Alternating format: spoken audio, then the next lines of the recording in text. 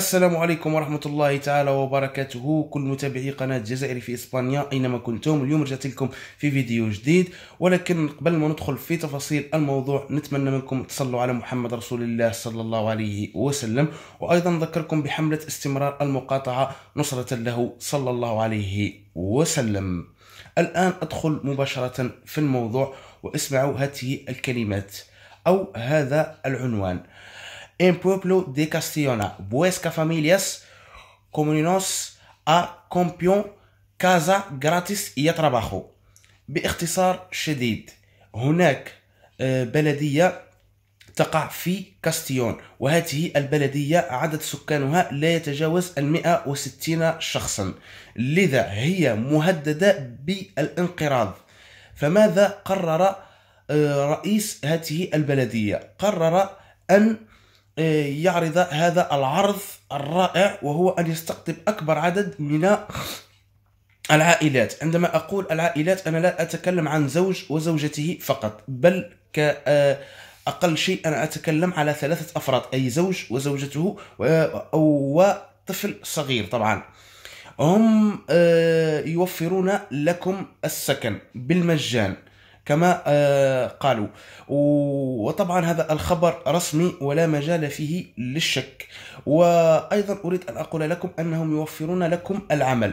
وكل هذه العائلات التي ستذهب إلى آه، آه، هذه المقاطعة وهذه البلدية بالتحديد في كاستيون سوف أترك لكم في صندوق الوصف الإيميل الذين تستطيعون التواصل به معهم مباشرة حتى تستفسروا أكثر وإن أعجبكم العرض فتذهبوا مباشرة. أريد أن أقول لكم أن أيضا الأطفال سوف آه، آه، يباشرون في الدراسة مباشرة وأن العمل ضروري وضروري جدا وسيوفره آه، وسيوفرونه لكم المسؤولون عن هذه البلدية.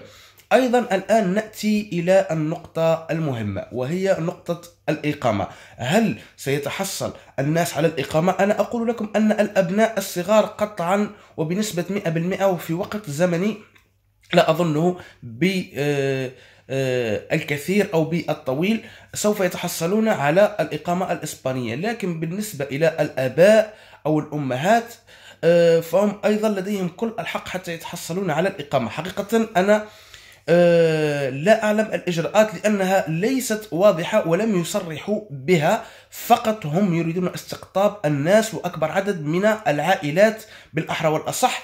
لذا أنا أقول لكم و بصفة آه، رئيس البلدية أنه هو المسؤول الأول على هذه آه، القرية. فبالتأكيد وقطعا أنه هو من سيدافع عن هذه الفئة حتى تتحصل على الإقامة الإسبانية. فطبعا دائما قرارات أو قوانين الإقامة لا يستطيع أحد أن يجزم فيها لأننا نعلم أن إسبانيا يوجد فيها العديد من الأقاليم والعديد من الأحزاب وكل هذه الأحزاب تتصارع ولديها أفكار متباعدة ومختلفة جدا. هناك الأحزاب المتطرفة وهناك الأحزاب الملحدة وهناك أحزاب تدعم المهاجرين. ولكن لكي أكون صريح معكم وهي قليلة جدا وهناك الأحزاب التي هي تعارض المهاجرين وهي بكثرة كبيرة جدا. لكن على حسب المعطيات وعلى حسب المنطق وعلى حسب الوضعية التي آه، هي موجودة الآن أو موجودة في هذه القرى فهم بالطبع يستحقون أو هم عندما لجأوا إلى هذا القرار فهم يعلمون أنه آه، أولئك الناس الذين سيأتون إلى هذه القرية هم لمصلحتهم ولفائدتهم. لذا أنا أقول بنسبة تفوق الثمانين بالمئة أن العائلات سوف تتحصل على الإقامة الإسبانية. إذا آه، وافقت على شروط هذه آه، طبعا البلدية وتماشت معها وقامت بالبقاء فيها لمدة معينة وأنا طبعا لا أعلم هذه المدة. المهم أتمنى أن تكونوا قد استفدتوا من هذا الموضوع وأذكركم أن الإيميل الخاص بهذه البلدية سوف تجدونه في صندوق الوصف حتى تستطيعوا التواصل معهم والاستفسار أكثر وأن يوافوكم بكل المعلومات التي قد تفيدكم إن شاء الله.